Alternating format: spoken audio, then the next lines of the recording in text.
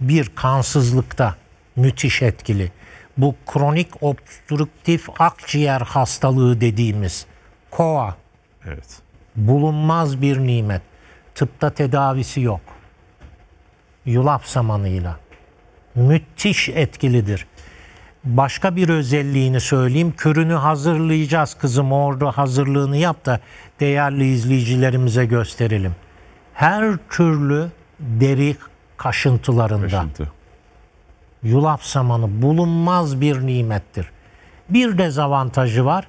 Bunu 2 saatten fazla bekletmeyin. Fermente oluyor. Çok hızlı. Ya Fermentasyon. Evet. hazırladıktan O 2 saat içerisinde ne amaçla hazırladıysanız kullanacaksınız. Ha mesela sabah akşam diyorum ben deri kaşıntılarında sabah hazırladığınızı akşam kullanamazsınız. Kullanmamanız lazım.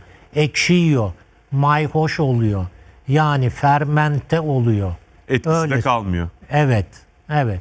E, Deri kaşıntılarında özellikle. Şimdi bronşektazide, genel nefes darlığı şikayetlerinde ve vitiligo. Şimdi halk arasında Allah hastalığı olarak bilinen.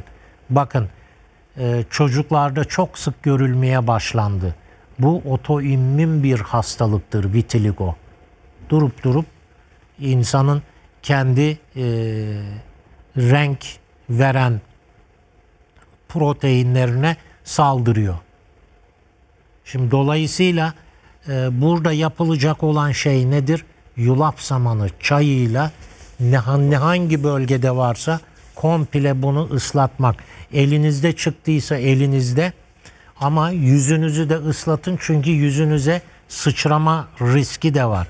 Dolayısıyla ilk defa genital bölgelerde başlayabilir. Sonra ellere geçer, kollara geçer, yüze atlar. İşte burada yapacağınız şey yulaf samanı.